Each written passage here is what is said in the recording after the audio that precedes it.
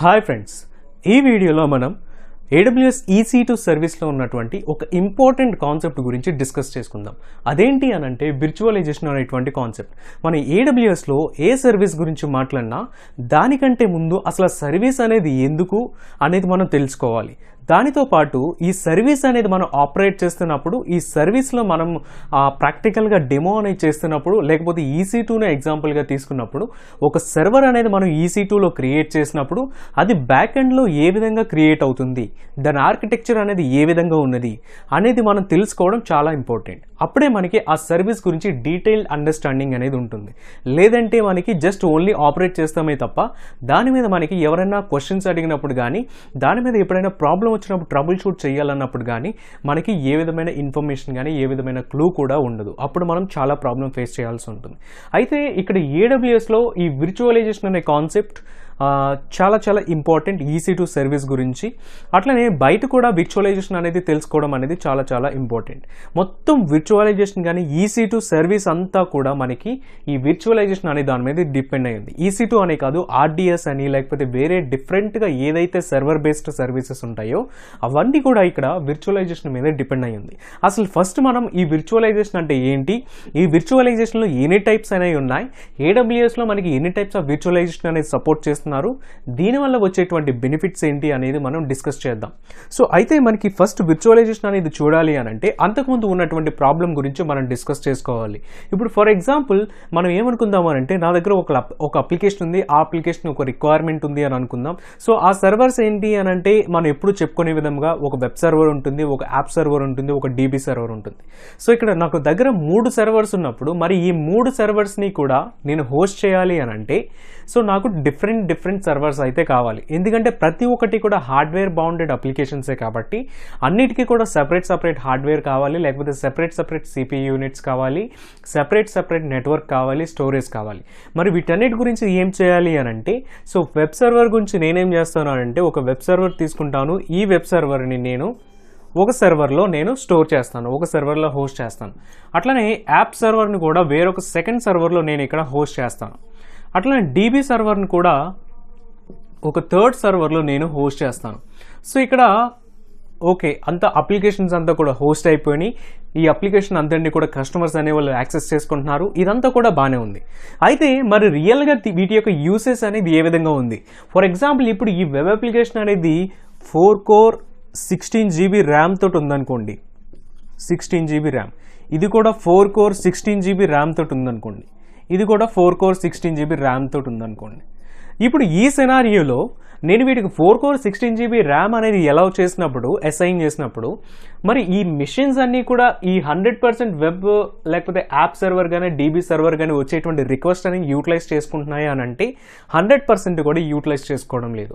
For example దీనికి ఒక thirty percent అనేది యూటిలైజ్ చేసుకుంటుంది అనుకోండి. థర్టీ పర్సెంట్ అంటే ఇక్కడ మనం హోస్ట్ చేసినట్టు వెబ్ సర్వర్ మీద ఈ ఫోర్ కోర్ సిక్స్టీన్ జీబీలో కస్టమర్స్ చేసేటువంటి రిక్వెస్ట్ అనేవి ఓన్లీ థర్టీ పర్సెంట్ ఉన్నాయి రిమైనింగ్ సెవెంటీ పర్సెంట్ అంతా కూడా మనకి ఫ్రీగానే ఉంది.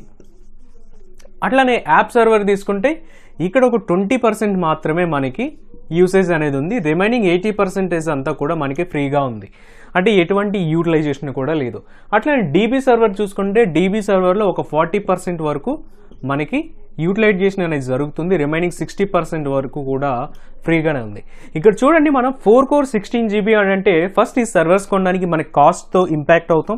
ఎక్కువ కాస్టే ఉంటుంది. ఎందుకంటే మరి ఎక్కువ కాన్ఫిగరేషన్ మనం తీసుకున్నాం కాబట్టి. కానీ ఇంత ఎక్కువ కాన్ఫిగరేషన్ బట్టి సర్వర్స్ తీసుకుని సర్వర్స్ అన్ని కూడా యూటిలైజేషన్ అవుతున్నాయా అని అంటే యూటిలైజేషన్ అవ్వట్లేదు. సో నాకు ఏమాత్రం కూడా ఉపయోగం లేదు. ఓన్లీ థర్టీ పర్సెంట్ ఉపయోగపడుతుంది. ట్వంటీ పర్సెంట్ ఉపయోగపడుతుంది. ఫార్టీ పర్సెంట్ ఉపయోగపడుతుంది. రిమైనింగ్ ఇక్కడ వెబ్ సర్వర్లో సెవెంటీ పర్సెంట్ ఫ్రీగా రన్ అవుతుంది. యాప్ సర్వర్లో ఎయిటీ పర్సెంట్ ఫ్రీగా రన్ అవుతుంది. డీబీ సర్వర్లో సిక్స్టీ పర్సెంట్ ఫ్రీగా రన్ అవుతుంది. సో కానీ ఇక్కడ త్రీ సర్వర్స్ రన్ అవుతున్నాయి కదా? మరి త్రీ సర్వర్స్కి కూడా నేను సేమ్ కూలింగ్ సిస్టమ్ మెయింటైన్ చేసుకోవాలి.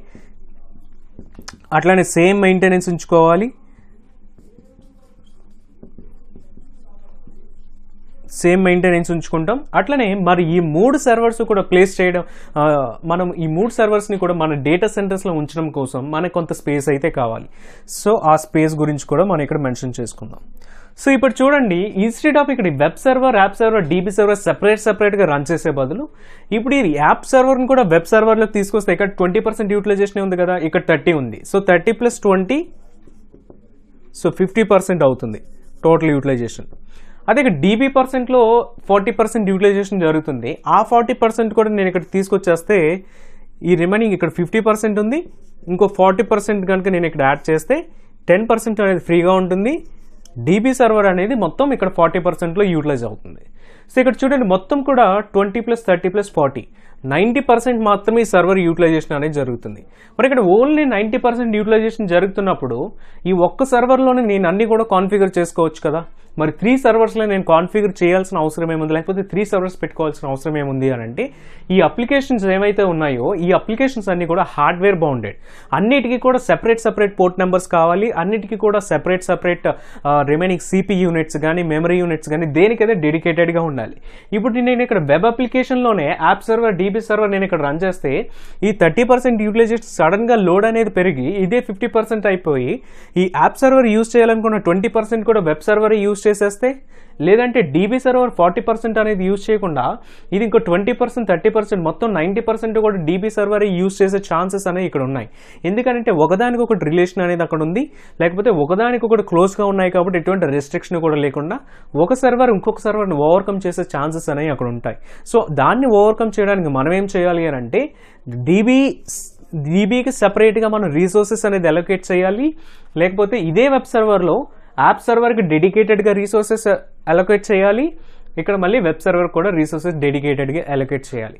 అట్లా ఎలకేట్ చేయాలి అని అంటే వీటి మధ్య సంథింగ్ ఒకటి అనేది జరగాలి. ఈ ఫోర్ కోర్ సిక్స్టీన్ జీబీ నేను ఎట్లా స్ప్లిట్ చేయాలంటే ఈ మూడింటికి కూడా సరిపోయేటట్టుగా ఇక్కడ ఉన్నటువంటి లోడ్కి బేస్ చేసుకుని నేను ఈ మూడి కూడా డివైడ్ చేయాల్సి ఉంటుంది. ఆ మూడు నేను డివైడ్ చేసిన తర్వాత ఒక సర్వర్ యూసేజ్ వేరొక సర్వర్ని తీసుకోకూడదు వేరొక సర్వర్ యూసేజ్ వేరొక ఇంకొక సర్వర్ యూసేజ్ని తీసుకోకూడదు.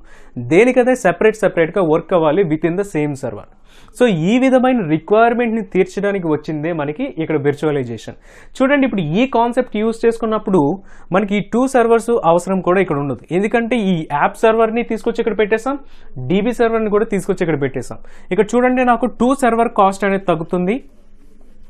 ఈ విర్చువలైజేషన్ అనేది యూజ్ చేసుకోవడం వల్ల విర్చువలైజేషన్ ఏ విధంగా పనిచేస్తుంది అనేది ఇప్పుడు డీటెయిల్గా చూద్దాం. అయితే దానికంటే ముందు దీనివల్ల వచ్చేటువంటి బెనిఫిట్స్ ఏంటి అని అంటే ఒకే సర్వర్కి తీసుకురావడం వలన so first two server first నేను త్రీ సర్వర్స్ పెట్టాను ఇప్పుడు త్రీ సర్వర్స్ కాస్త ఒక సర్వర్ అయింది. అంటే ఇక్కడ టూ సర్వర్స్ కాస్ట్ అనేది నాకు రెడ్యూస్ అయింది. అట్లనే ఇక్కడ త్రీ సర్వర్స్ ఒకే చోట నుండి ఈ మూడింటి నుంచి వచ్చే హీట్ వల్ల రూమ్ అంతా కూడా ఎక్కువ హీట్ అనేది స్ప్రెడ్ అవుతుంది. సో ఇక్కడ నేను టూ సర్వర్స్ని తీసేసినప్పుడు అక్కడ ఉండేటువంటి హీట్ ప్రెషర్ అనేది తగ్గుతుంది. సో దానివల్ల ఏమవుతుంది అని అంటే నా యొక్క కూలింగ్ ఖర్చుస్ అనేవి ఖర్చులు అనేవి కూడా తగ్గుతాయి. సో కూలింగ్ కాస్ట్ అనేది కూడా తగ్గుతుంది. సో ఆటోమేటిక్గా త్రీ లేవు కాబట్టి నెట్వర్క్ మెయింటెనెన్స్ కావచ్చు సర్వర్ మెయింటెనెన్స్ కావచ్చు ఏదైనా కూడా అది కూడా తగ్గుతుంది. ఇక్కడ స్పేస్ కూడా చూడండి ఇక్కడ త్రీ సర్వర్స్ ఉండేటప్పుడు ఎక్కువ స్పేస్ ఆక్యుపై చేసింది ఒక సర్వర్ ఉన్నప్పుడు అయితే ఇది తక్కువ స్పేస్ అయితే ఆక్యుపై చేసింది అంటే స్పేస్ కూడా తగ్గింది. సో ఈ విధమైన బెనిఫిట్స్ అనేవి మనం ఈ విధంగా డిఫరెంట్ డిఫరెంట్ సర్వర్స్లో చేసేవన్నీ కూడా సింగిల్ సర్వర్లో యూటిలైజేషన్ బేస్డ్ చేసుకున్నప్పుడు మనకి ఈ విధంగా హెల్ప్ అవుతుంది. అయితే దీని గురించి ఫస్ట్ మన దగ్గర ఉండాల్సింది ఏంటి అని అంటే ఎక్కువ కాన్ఫిగరేషన్ ఉన్నటువంటి సర్వర్స్ ఉన్నప్పుడు మాత్రమే ఈ కాన్ఫిగరేషన్ కానీ ఈ కాన్సెప్ట్ కానీ వర్క్ అవుతుంది. అదే మీ దగ్గర one core one GB server ఉందనుకోండి ఈ మూడు తీసుకెళ్ళి ఒక దాంట్లో పెడితే అక్కడ అసలు సర్వర్స్ అనేవి రన్ అవ్వవు. సో ఆటోమేటిక్గా మీ వెబ్సైట్ అనేది కానీ లేకపోతే మీరు హోస్ట్ చేసిన అప్లికేషన్ కానీ అక్కడ డౌన్ అయిపోతుంది. మన దగ్గర ఎప్పుడైతే ఇక్కడ ఎక్స్ట్రా స్టోరేజ్ స్పేస్ కానీ లేకపోతే ఎక్స్ట్రా కాన్ఫిగరేషన్ కానీ వేస్ట్గా ఉండిపోతుందో అటువంటప్పుడు మాత్రం ఈ కాన్సెప్ట్ అనేది మనం యాడ్ చేసుకోవచ్చు. అయితే మరి ఇక్కడ మనం ఇదివరకు మా ఇంతకుముందు మాట్లాడుకున్నట్టు ఈ డీబీకి లేకపోతే యాప్ సర్వర్కి వెబ్ సర్వర్కి మూడింటికి కూడా సెపరేట్ సెపరేట్గా రీసోర్సెస్ అనేది మనం ప్రొవైడ్ చేయాలి అన్నప్పుడు ఇటువంటి విర్చువలైజేషన్ కాన్సెప్ట్ అనేది మనం యూస్ చేసుకోవాల్సి ఉంటుంది. మన విర్చువలైజేషన్ కాన్సెప్ట్ అనేది అంటే ఏంటి అని అంటే ఇప్పుడు చూద్దాం. సో నేను ఇప్పుడు ఏం చేస్తానంటే సేమ్ అదే సిక్స్టీన్ జీబీ సర్వర్ని ఇక్కడ నేను తీసుకుంటాను. సో ఇది ఒక సిక్స్టీన్ జీబీ సర్వర్ అనుకోండి. ఈ సర్వర్లో నాకున్నటువంటి రీసోర్సెస్ ఏంటి అని అంటే four core sixteen GB resources అనేది నాకు ఇక్కడ ఈ సర్వర్లో అవైలబుల్గా ఉన్నాయి. ఇప్పుడు నేను ఇక్కడ ఇదే విర్చువలైజేషన్ కాన్సెప్ట్ ఇప్పుడు మనం మాట్లాడుకున్న విధంగా మూడు సర్వర్స్కి కూడా సెపరేట్ సపరేట్గా డెడికేటెడ్గా ఒకే సర్వర్ మీద రీసోర్సెస్ అనేది ఏ విధంగా ఎలకేట్ చేయాలి అని అంటే ఇప్పుడు మనకి ఇక్కడ విర్చువలైజేషన్లో హైపర్వైజర్ అని మనకి ఒక కాన్సెప్ట్ అయితే వస్తుంది. సో ఇది ఒక హైపర్వైజర్ లేయర్ అనుకుంటే సో బేసికలీ ఇక్కడ ఈ హైపర్వైజర్ అనేది ఏంటి అని అంటే మనం మూడిటికి కూడా ఒక మూడు డిఫరెంట్ అప్లికేషన్స్ ఒకే దాని మీద రన్ చేయాలి. ఆ మూడు వాటి మీద కూడా సపరేట్ సపరేట్గా రీసోర్సెస్ అనేది డెడికేటెడ్గా వాటికి అవైలబుల్ చేయాలి అని అంటే ఫస్ట్ మనం ఈ హార్డ్వేర్ని ఉన్నటువంటి హార్డ్వేర్ని మనం స్ప్లిట్ చేయాలి. ఎందుకంటే ఇప్పుడు ఈ ఫోర్ కోర్ని కూడా మనం sixteen GB instead of thirty percent forty percent allocate చేస్తున్నామా అని అంటే మనం ఇక్కడ ఈ ఫోర్ కోర్ని సిక్స్టీన్ జీబీలో నుంచే మనం అలొకేట్ చేయడం అనేది జరుగుతుంది. సో ఫర్ ఎగ్జాంపుల్ ఇక్కడ నేనేం చేస్తున్నానంటే వన్ కోర్ టూ జీబీ అనేది వన్ కోర్ టూ జీబీ అనేది వెబ్ సర్వర్కి ఎలొకేట్ చేస్తాను. అట్లనే వన్ కోర్ టూ జీబీ అనేది యాప్ సర్వర్కి ఎలొకేట్ చేస్తాను. అట్లనే వన్ కోర్ ఇంకొక టూ జీబీ అనేది మళ్ళీ డీబీ సర్వర్కి నేను అలొకేట్ చేస్తాను. ఇంకా నాకు ఏముంటుంది? ఇంకొక కోర్ ఉంటుంది. ఇంకా మిగిలిన జీబీ ఎంత అయితే జీబీ ఉంటుందో ఆ జీబీ అంతా కూడా ఇక్కడ మెన్షన్ చేసుకుందాం. ఇది నాకు ఎంటీగా ఉంది. సో ఇప్పుడు నేను ఇట్లా స్ప్లిట్ చేయాలి అన్నప్పుడు నాకు ఇక్కడ ఒక సాఫ్ట్వేర్ అయితే కావాలి. నాకు ఉన్నటువంటి హార్డ్వేర్లోనే ఇందుట్లోనే ఉన్నటువంటి ఫోర్ కోర్ని నేను సెపరేట్ సపరేట్గా one core one core one core అని మళ్ళీ అగైన్ ఉన్నటువంటి సేమ్ మిషన్ మీద స్ప్లిట్ చేయాలి అని అంటే ఇక్కడ నాకు ఒక సాఫ్ట్వేర్ అయితే కావాలి. ఆ సాఫ్ట్వేర్ని మనం ఏమని పిలుస్తాము అని అంటే ఇక్కడ హైపర్వైజర్ సాఫ్ట్వేర్ అని కాల్ హైపర్వైజర్ అని కాల్ చేస్తాము. ఈ హైపర్వైజర్ అనేది ఉంది కదా ఈ హైపర్వైజర్ ఏం చేస్తుంది అని అంటే ఇట్లా ఫోర్ కోర్ సిక్స్టీన్ జీబీని ఇట్లా త్రీ ఫోర్ పార్ట్స్ కింద స్పీక్ చేయడానికి మనకి సాఫ్ట్వేర్ అనేది హెల్ప్ చేస్తుంది. సో ఇప్పుడు సాఫ్ట్వేర్ కింద ఉన్నటువంటి దేని మీద ఇన్స్టాల్ చేస్తాము అని అంటే ఇప్పుడు ఆల్రెడీ ఇక్కడ ఆల్రెడీ ముందే ఇన్స్టాల్ అయినటువంటి ఒక ఆపరేటింగ్ సిస్టమ్ ఉంటుంది కదా దీనికి ఉన్నటువంటి హార్డ్వేర్ ఉంటుంది కదా సో ఇది హార్డ్వేర్ అనుకుంటే దీనిపైన ఉన్నటువంటిది ఇక్కడ ఓఎస్ ఆపరేటింగ్ సిస్టమ్ ఈ ఆపరేటింగ్ సిస్టమ్ మీద ఇప్పుడు నేను ఇక్కడ త్రీ డిఫరెంట్ ఇన్స్టెన్సెస్ లాంచ్ చేయాలి అని అంటే సో ఇక్కడ ఒక ఇన్స్టెన్స్ని సపరేట్గా లాంచ్ చేసుకుంటాను ఇక్కడ ఒక ఇన్స్టెన్స్ని సపరేట్గా లాంచ్ చేసుకుంటాను ఇక్కడ ఒక ఇన్స్టెన్స్ని సపరేట్గా లాంచ్ చేసుకుంటాను. బేసికలీ ఇక్కడ నేను ఇన్స్టెన్స్ అని ఎందుకు అంటున్నాను అని అంటే ఇక్కడ సెపరేట్ ఓఎస్ అనేది రన్ అవుతుంది. OS one OS two OS three different OSes అనేవి ఇట్లా డిఫరెంట్ ఓఎస్ఎస్ అనేవి ఎట్లా రన్ అవుతున్నాయి అని అంటే ఇక్కడ మనం ఇక్కడ ఉన్నటువంటి హార్డ్వేర్ని లేకపోతే ఇక్కడ ఉన్నటువంటి ఆపరేటింగ్ సిస్టమ్స్ని ఇక్కడ ఉన్నటువంటి హైపర్వైజర్తో ఈ సాఫ్ట్వేర్తో ఏం చేశానంటే డిఫరెంట్ డిఫరెంట్గా స్ప్లిట్ చేసి ఒక ప్లెయిన్ విఎం లాగా నేను తయారు చేశాను. ఒక ప్లెయిన్ మిషన్ లాగా తయారు చేశాను. ఆ ప్లెయిన్ మిషన్ని నేనేం చేశాను అంటే వాటిపైన నేను మళ్ళీ one core one core one core కింద స్పీక్ చేసుకొని వాటిపైన నేను డిఫరెంట్ ఆపరేటింగ్ సిస్టమ్స్ని నేను ఇక్కడ ఇన్స్టాల్ చేశాను. సో దీనివల్ల నాకు బెనిఫిట్ ఏంటి అని అంటే ఇక్కడ ఉన్నటువంటి అండర్లయింగ్ హార్డ్వేర్ మాత్రం ఒకటే ఇన్స్టెన్స్ అయినా ఒకటే సర్వర్ అయినా దానిపైన నేను హైపర్వైజర్ యూస్ చేశాను కాబట్టి different different operating operating systems నేను ప్రొడ్యూస్ చేయగలిగాను కాబట్టి సో దేనికైతే డెడికేటెడ్గా ఈ రీసోర్సెస్ అన్నీ కూడా అవైలబుల్గా ఉంటాయి. సో ఈ హార్డ్వేర్ స్ప్లిటింగ్ అంతా వన్ కోర్ దీనికి వన్ కోర్ దీనికి ఇంకొక వన్ కోర్ దానికి ఇంకొక వన్ కోర్ ఫ్రీగా రన్ అవుతుంది. ఈ ఎక్స్ట్రా ఏదైతే ఉందో దీంట్లో ఇక్కడ హైప్రవైజర్ అనేది రన్ అవుతుంది. సో ఇప్పుడు ఇక్కడ మరి మూడు డిఫరెంట్ ఆపరేటింగ్ సిస్టమ్స్ ఉన్నప్పుడు ఇది వెబ్ సర్వర్ అవుతుంది ఇది యాప్ సర్వర్ అవుతుంది ఇది డీబీ సర్వర్ కింద నేను మళ్ళీ హోస్ట్ చేసుకుంటాను. సో ఇక్కడ మూడింటికి కూడా ఒక సెపరేషన్ అనేది జరిగింది కాబట్టి ఈ వెబ్ సర్వర్లో వచ్చేటువంటి లోడు యాప్ సర్వర్ రీసోర్స్ని యూజ్ చేసుకోలేదు యాప్ సర్వర్లో వచ్చేటువంటి లోడ్ డీబీ సర్వర్ని యూజ్ చేసుకోలేదు. సో దీనివల్ల మనం ఇదివరకు మాట్లాడుకున్న ఇంతకుముందు మాట్లాడుకున్న విషయాలన్నింటినీ కూడా ఇక్కడ దీనివల్ల ఒక హైపర్వైజర్ వల్ల మనం అచీవ్ చేయగలిగాం. అయితే ఇక్కడ వేరొక విషయం ఏంటి అని అంటే ఇక్కడ ఆప్ ఇక్కడ ఒక ఆపరేటింగ్ సిస్టమ్ ఉంది ఇక్కడ ఒక ఆపరేటింగ్ సిస్టమ్ ఉంది. వీటిని ఏమంటారు అని అంటే బేసికలీ ఈ మిషన్ ఏమంటారు అని అంటే హోస్ట్ మిషన్ అంటారు. హోస్ట్ మిషన్ అంటారు. ఈ హోస్ట్ ఓఎస్ ఉంది చూసారా? ఈ ఓఎస్ని వచ్చేసి హోస్ట్ ఓఎస్ అంటారు. ఎందుకంటే అదే అక్కడ హోస్ట్ చేస్తుంది కాబట్టి అదే అక్కడ underlying hardware underlying operating system ఉంది కాబట్టి వాటిని host machine and host operating system అని అంటారు. అట్లనే ఈ పైన వచ్చిన వాటిని ఏమంటారు అని అంటే guest machines and guest OS అని అంటారు. సో వీటిని గెస్ట్ మిషన్ అంటారు వీటిని హోస్ట్ మిషన్ అంటారు. ఇక్కడ ఆపరేటింగ్ సిస్టమ్ వచ్చి హోస్ట్ ఓఎస్ గెస్ట్ ఓఎస్ ఉంటాయి. ఇక్కడ హోస్ట్ ఓఎస్ మీద డిఫరెంట్ గెస్ట్ ఓఎస్ని మనం హో హోస్ట్ చేసుకోవాలి అని అంటే ఇక్కడ మనకి హైపర్ వైజర్ అనేది అయితే చాలా చాలా అవసరం. ఇక్కడ వేరొక నేమ్లో మనం వీటిని ఏమని పిలవచ్చు అని అంటే ఇక్కడ విర్చువల్ మిషన్స్ అని కూడా మనం కాల్ చేయొచ్చు. ఇన్స్టెడ్ ఆఫ్ గెస్ట్ మిషన్స్ బదులు మనం ఇక్కడ విర్చువల్ మిషన్స్ అని కూడా కాల్ చేయొచ్చు. ఇక్కడ బేస్డ్ ఆన్ జరిగినటువంటి ఈ విర్చువలైజేషన్ ద్వారా ప్రొడ్యూస్ అయిన మిషన్స్నే మనం ఇక్కడ విర్చువల్ విర్చువల్ మిషన్స్ అని అయితే ఇక్కడ మనం కాల్ చేస్తున్నాం. అయితే ఇక్కడ దీని ఎంటైర్ మిషన్ని మనం ఇంకా ఏమని చెప్పుకోవచ్చు అని అంటే బేర్ మెటల్ అని మనం ఇక్కడ చెప్పుకోవచ్చు. సో ఏడబ్ల్యూఎస్లో మనకి వేరొక సర్వీస్ అయితే ఉంది బేర్ మెటల్ అన్న సర్వీస్ ఇక్కడ చూడండి దీనిని మనం హోస్ట్ మిషన్తో పాటు బేర్ మెటల్ సర్వర్ అని కూడా మనం కాల్ చేయొచ్చు. సో బేర్ మెటల్ సర్వర్ అంటే ఏంటి అని అంటే ఎటువంటి విర్చువలైజేషన్ కూడా జరగకుండా దాని మీద ఎటువంటి విర్చువల్ మిషన్స్ కూడా లేకుండా ఒక ప్లెయిన్గా ఉన్నటువంటి సర్వర్ ఏదైతే ఉంటుందో దానిని వీళ్ళు బేర్ మెటల్ సర్వర్ అంటారు. ఏడబ్ల్యూఎస్లో ఈసీ టూతో పాటు బేర్ మెటల్ సర్వర్ అనే సర్వీస్ కూడా డైరెక్ట్గా అవైలబుల్ ఉంది. ఇక్కడ ఈసీ టూ సర్వీస్లో కనుక మనం చూసుకుంటే అక్కడ మనకి విర్చువల్ మిషన్స్ అనేది ప్రొడ్యూస్ చేస్తారు. ఈ విర్చువల్ మిషన్స్ అనేది ఎట్లా ప్రొడ్యూస్ అవుతున్నాయి? మనం కన్సోల్కి వెళ్ళి జస్ట్ క్రియేట్ ఇన్స్టెన్స్ అని కాల్ చేయగానే అక్కడ ఒక మిషన్ అనేది మనకు వస్తుంది. ఆ మిషన్కి ఒక ఐపీ అడ్రస్ వస్తుంది. ఆ ఐపీ అడ్రస్కి మనకు కనెక్ట్ అయ్యి మనకు కావాల్సిన ఇన్స్టాలేషన్స్ కానీ మన అప్లికేషన్స్ కానీ హోస్ట్ చేసుకుంటున్నాం. కానీ ఏడబ్ల్యూఎస్ డేటా సెంటర్లో బ్యాక్ ఎండ్లో జరిగేటువంటి విషయం ఏంటి అని అంటే ఏడబ్ల్యూఎస్లో ఇటువంటి హోస్ట్ మిషన్స్ అనేవి చాలా డేటా సెంటర్స్లో డిప్లాయ్ చేస్తున్నారు.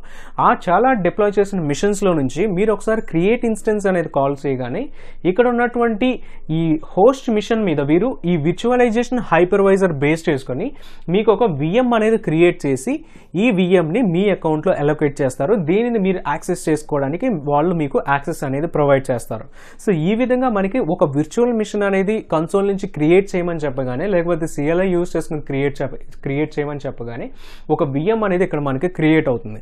అట్లనే వేరొకటి మనం చూసుకుంటే బేర్ మెటల్ సర్వీస్ అనేది కనుక చూసుకుంటే బేర్ మెటల్ సర్వీస్లో మీరు అక్కడ క్రియేట్ సర్వర్ అని చెప్పగానే ఏమవుతుంది అని అంటే ఇక్కడ ఇట్లా విర్చువలైజేషన్ జరుగుతుంది కానీ బేర్ మెటల్ సర్వీస్లో మీకు విర్చువలైజేషన్ అనేది జరగదు. ఒక ప్లెయిన్ మిషన్ ఎలాగైతే ఉంటుందో హోస్ట్ మిషన్ ఆ హోస్ట్ మిషన్ అనేది మీకు డైరెక్ట్గా ప్రొవైడ్ చేసేస్తారు. సో అది మనకి బేర్ మెటల్ సర్వీస్ వల్ల ఉన్నటువంటి యూస్ కేస్ ఇక్కడ దీన్ని మనం ఈ పైన వచ్చేటువంటి లేయర్ అంతా కూడా ఈసీ టూ సర్వీస్లో వచ్చే సర్వర్స్ అని మనం చెప్పుకోవచ్చు.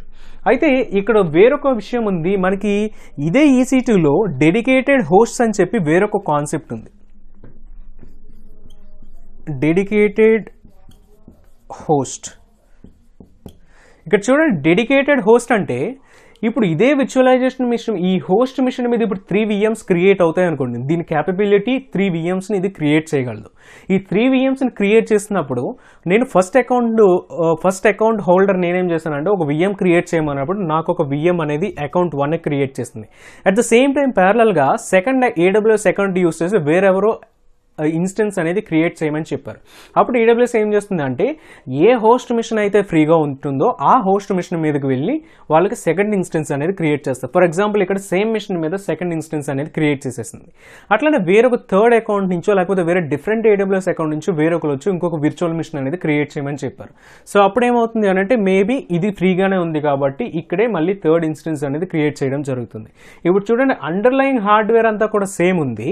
కానీ పైన వచ్చేటువంటి ఇక్కడ విర్చువల్ మిషన్ ఏమో ఇది ఒక ఎక్స్ అనే పర్సన్ అనుకుంటే సెకండ్ వచ్చేటువంటి విర్చువల్ మిషన్ వై అనే పర్సన్ అనుకుంటే థర్డ్ వచ్చేటువంటి మిషన్ జెడ్ అనే పర్సన్ అవుతుంది. మరి ఇది ఎట్లా ఉంటుంది అంటే షేర్డ్ హార్డ్వేర్ కింద ఉంటుంది. ఏడబ్ల్యూఎస్ డిఫాల్ట్గా కూడా సో ఏదైనా విర్చువల్ మిషన్ క్రియేట్ చేయమన్నప్పుడు అంతా కూడా షేర్డ్ టెనాన్సీ మీద క్రియేట్ చేస్తుంది. ఏడబ్ల్యూఎస్ ప్రైసింగ్ క్యాలిక్యులేటర్ అంతా కూడా ప్రైసింగ్ అంతా కూడా ఏ విధంగా క్యాలిక్యులేట్ చేస్తుంది అంటే డిఫాల్ట్గా ఈ షర్ట్ టెనాన్సీలోనే కాల్ చేస్తుంది. ఒకవేళ మీకు సెక్యూరిటీ కాంప్లైన్సెస్ కానీ సెక్యూరిటీ రిలేటెడ్ ఇష్యూస్ కానీ మీకు కంపెనీకి ఉన్న కాంప్లైన్స్ పాలసీస్ ప్రకారం ఇది షర్ట్ టెనాన్సీలో ఉండకూడదు అని అంటే అప్పుడు మీరేం చేయాలి అని అంటే ఇక్కడ కింద ఉన్నటువంటి హోస్ట్ మిషన్ అంతటిని కూడా మీరు కొనుక్కోవాల్సి ఉంటుంది. ఇప్పుడు మీరు ఇన్స్టెడ్ ఆఫ్ ఒక విఎంని మీరు రెంట్కి తీసుకునేటప్పుడు రెంట్ అంటే ఏడబ్ల్యూఎస్ అంటేనే మొత్తం పే యాజ్ ఏగో కదా. మీరు ఏదైతే యూజ్ చేసుకుంటారో దానికి మాత్రం పే చేస్తే సరిపోతుంది. కానీ ఇక్కడ మీరు ఈ విధంగా చేసినప్పుడు ఏమవుతుంది? మీ కాంప్లైన్స్ పాలసీ ప్రకారం ఈ హోస్ట్ మిషన్ అంతా కూడా మీకు కావాలి అని అంటే ఇక్కడ ఒక విఎంకి అయ్యేటువంటి కాస్ట్ మీకు ఇక్కడ మొత్తం హోస్ట్ విఎంకి ఎంతైతే కెపాసిటీ ఉందో మీకు కావాల్సిన కెపాసిటీతో అక్కడ మీకు కాస్ట్ అనేది పడుతుంది. మీరు యూజ్ చేసినా చేయకపోయినా మీకు ఏమవుతుందంటే ఇప్పుడు ఈ ఇటువంటిది కావాలి అన్నప్పుడు దీనిని ఇక్కడ మనం డెడికేటెడ్ హోస్ట్ అని చెప్పేసి దీన్ని కాల్ చేస్తారు. డెడికేటెడ్ హోస్ట్ మనకి ఈ విధంగా వర్క్ చేస్తుంది. సో ఇక్కడ మనం విర్చువల్ మిషన్స్లో చూస్తే పైన మాత్రం మనకు వస్తాయి. లేదు డెడికేటెడ్ హోస్ట్ మనకి ఇవ్వండి అని అంటే ఇప్పుడు ఇటువంటి డెడికేటెడ్ హోస్ట్ అంతా మనకి ప్రొవైడ్ చేస్తారు. దీని మీద మనకి బిఎమ్స్ అనేది క్రియేట్ చేసి ప్రొవైడ్ చేస్తారు. ఇప్పుడు ఇక్కడే మనకి అప్పుడు ఏమవుతుంది అని అంటే అప్పుడు మీకు ఇంకా వేరొకరు క్రియేట్ చేసిన ఈసీ టూ ఇన్స్టెన్సెస్ ఇక్కడ మీకు హోస్ట్ అనేది చేయరు డెడికేటెడ్ హోస్ట్ అనేది మీరు తీసుకున్నప్పుడు. సో మళ్ళీ మీ దగ్గర నుంచి మీ అకౌంట్ నుంచి ఏదైనా సెకండ్ ఇన్స్టెన్స్ క్రియేట్ చేయమని వచ్చినప్పుడు అప్పుడు సేమ్ మళ్ళీ అదే అకౌంట్ నుంచి వేరొక విఎం అనేది క్రియేట్ చేసి మీకు ఇస్తారు. లేదు వేరే రిక్వెస్ట్ వచ్చినప్పుడు మళ్ళీ ఆ విఎంని ఇక్కడ క్రియేట్ చేసి మళ్ళీ అదే విఎంని మీకు ఇస్తారు. అంటే ఓన్లీ మీకు సంబంధించిన విర్చువల్ మిషన్స్ మాత్రమే ఈ డెడికేటెడ్ హోస్ట్ మీద క్రియేట్ చేస్తారు. అలా కాదు నాకు మొత్తం ఎంటైర్ మిషనే కావాలి అన్నప్పుడు మీరు అప్పుడు బేర్ మెటల్ సర్వీస్ యూస్ చేసుకోవడం మంచిది. సో ఈ విధంగా మనకి EC two and bare metal గురించి అట్లాగే ఈసీ టూలో ఉన్నటువంటి డెడికేటెడ్ హోస్ట్ గురించి విర్చువల్ మిషన్స్ అనేవి ఈ విధంగా బ్యాక్ ఎండ్లో క్రియేట్ అవుతాయి అయితే మనకి ఇక్కడ హైపర్వైజర్ అని మాట్లాడుకున్నాం కదా. ఈ హైపర్వైజర్ అనేది మనకి మేబీ ఇంటర్వ్యూ క్వశ్చన్స్లో రావచ్చు లేదంటే సర్టిఫికేషన్స్ క్వశ్చన్స్లో కూడా మనకి వచ్చే అవకాశం అయితే ఉంటుంది. సో ఏడబ్ల్యూఎస్లో ఇది ఇప్పటి వరకు యూజ్ చేసేటువంటి హైపర్వైజర్ నేమ్ ఏంటి అని అంటే జెన్ హైపర్వైజర్ అనేది అయితే ఎక్సియన్ జెన్ హైపర్వైజర్ అనేది అయితే టూ ఇయర్స్ బ్యాక్ వరకు కూడా ఏడబ్ల్యూఎస్ స్టార్ట్ అయినప్పటి నుంచి ఇప్పటి వరకు కూడా ఇదే యూజ్ చేశారు జెన్ హైపర్వైజర్ అయితే రీసెంట్గా టూ ఇయర్స్ బ్యాక్ ఏడబ్ల్యూఎస్ ఏం చేస్తుంది అని అంటే ఒక కొత్త హైపర్వైజర్ని ఏడబ్ల్యూఎస్ ఇట్సెల్ఫ్ దాన్ని లాంచ్ చేసి డిప్లాయ్ చేశారు. సో దాని పేరు ఏంటి అని అంటే నైట్రో హైపర్వైజర్. సో ఏడబ్ల్యూఎస్లో వచ్చేటువంటి కొత్త ఇన్స్టెన్స్ టైప్స్ కానీ కొత్త ఇమేజెస్ కానీ ఇవన్నీ కూడా నైట్రో హైపర్వైజర్ మీద రన్ అవుతున్నాయి. ఈ విర్చువలైజేషన్ అంతా కూడా మిషన్స్ అనేది ఎట్లా డిప్లాయ్ అవ్వాలి ఎన్ని విర్చువల్ మిషన్స్ క్రియేట్ అవ్వాలి అనేదంతా కూడా ఇక్కడ ఈ నైట్రో హైపర్వైజర్ మీద డిపెండ్ అయి ఉంది. సో ఇదివరకు అయితే జెన్ హైపర్వైజర్ ఉంది. మనకి ఓల్డ్ ఇన్స్టెన్స్ టైప్స్ ఏవైతే ఉన్నాయో లైక్ సి వన్ అని లేకపోతే టీ వన్ అని టీ టూ అని ఏవైతే ఉన్నాయో అవి మాత్రం మనకి జెన్ హైపర్వైజర్ మీద ఉంటాయి. కొత్తగా వచ్చినవన్నీ కూడా టీ త్రీ లేకపోతే M three M six C six ఇవన్నీ సిరీస్లు కొత్త సిరీస్లు ఏవైతే వస్తున్నాయో అవన్నీ కూడా మనకి ఇక్కడ నైట్రో హైపర్వైజర్ మీద అయితే రన్ అవుతున్నాయి. అయితే మరి ఇక్కడ విర్చువలైజేషన్లో ఎన్ని టైప్స్ ఆఫ్ విర్చువలైజేషన్ ఉంది అని అంటే మనకి ఇంపార్టెంట్గా చెప్పుకోవాల్సింది ఏంటి అని అంటే టూ టైప్స్ ఆఫ్ విర్చువలైజేషన్ అయితే మనకి ఇక్కడ ఉంది. సో ఒకటి ఏంటి అని అంటే హార్డ్వేర్ విర్చువలైజేషన్ సెకండ్ వన్ ఏంటంటే పారా విర్చువలైజేషన్ ఉంది. సో హార్డ్వేర్ విచువలైజేషన్ మిషన్ని మనం ఫుల్ ఫుల్లీ విచువలైజ్డ్ మిషన్ అని కూడా మనం కాల్ చేసుకోవచ్చు. అట్లనే పీవీఎం అని అంటే పారా విచువలైజ్డ్ మిషన్ అని మనం కాల్ చేసుకోవచ్చు. సో కాన్సెప్ట్ అంతా కూడా సేమ్గా ఉంటుంది. కానీ ఇక్కడ మనం రన్ చేసే హార్డ్వేర్లో ఉన్నటువంటి విఎమ్స్ డిఫరెంట్ విఎమ్స్ ఉంటాయని చెప్పుకున్నాం కదా. ఇది మనకి హోస్ట్ ఓఎస్ హోస్ట్ మిషన్ అయితే దీనిపైన వచ్చేవన్నీ మిషన్స్ అయితే. సో ఇక్కడ హార్డ్వేర్ విచువలైజేషన్లో ఏం జరుగుతుందంటే కంప్లీట్గా హార్డ్వేర్ అంతా కూడా విర్చువలైజ్ అయిపోతుంది. సో ఉన్నటువంటి కోర్ అండ్ ర్యామ్ కానీ అదర్ నెట్వర్క్ ఫీచర్స్ అన్నీ కూడా డిఫరెంట్ సెపరేట్ సెపరేట్గా డివైడ్ అయిపోతే యూజింగ్ హైపర్వైజర్ యూజ్ చేసుకుని. ఈ హైపర్వైజర్ అనేది ఇక్కడ హెవీగా వర్క్ అవుతుంది. దానివల్ల ఏమవుతుంది అని అంటే ఒక విఎంకి వేరొక విఎంకి మధ్యన ఏ వంటి రిలేషన్ కూడా ఉండదు. ఒక విఎంకి వేరొక విఎంలో ఏం రన్ అవుతుంది? లేకపోతే సెకండ్ విఎంకి థర్డ్ విఎంలో ఏం రన్ అవుతుంది అనే ఇన్ఫర్మేషన్ అయితే ఏమీ కూడా తెలియదు అదే పారా విర్చువలైజేషన్లో కనుక మనం చూస్తే ఇక్కడ రన్ అవుతున్న ఇన్స్టెన్స్కి సెకండ్ ఇన్స్టెన్స్కి థర్డ్ ఇన్స్టెన్స్కి కూడా కొద్దిగా రిలేషన్ అనేది ఉంటుంది.